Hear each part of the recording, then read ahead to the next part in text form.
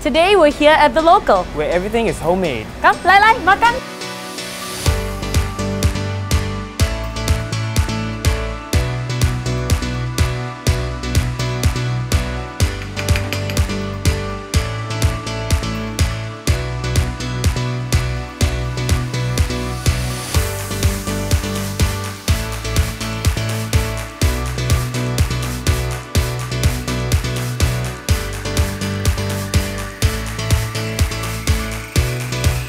Wow, I can't believe all these foods are homemade. Even the kaya and butter are homemade. I can't believe healthy food can be this good.